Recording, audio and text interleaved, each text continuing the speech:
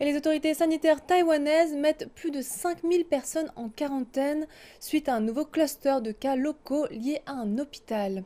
C'est le plus grand nombre de personnes placées en quarantaine depuis que la région a signalé son premier cas de coronavirus. Un hôpital de la ville de Taoyuan dans le nord a signalé 15 infections depuis le 12 janvier. Toutes les personnes en quarantaine sont en train d'être testées. Les autorités ont également annulé de nombreux événements de grande envergure à l'approche des célébrations du Nouvel An lunaire.